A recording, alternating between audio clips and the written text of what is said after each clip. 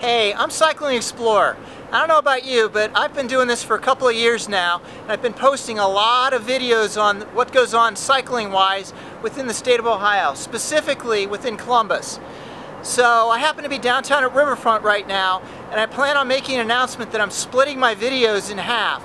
I'm going to continue with my Cycling Explorer, which will continue with all the trails that I've been doing, but I'm also going to create a new channel which I'm calling Mike's Reality.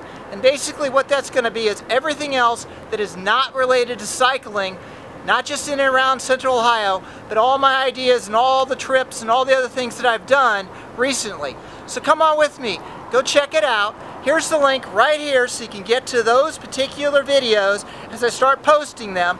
Otherwise, have a great day as it starts raining.